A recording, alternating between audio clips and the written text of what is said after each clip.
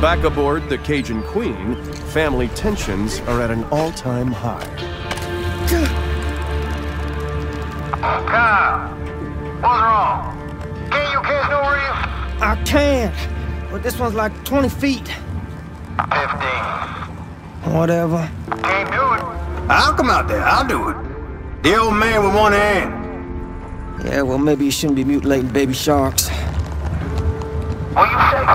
Nothing. Couldn't catch in a diaper. You telling me how to honor Shaw? Believe that? I mean, I came down here thinking it'd be a good opportunity for some father-son bonding.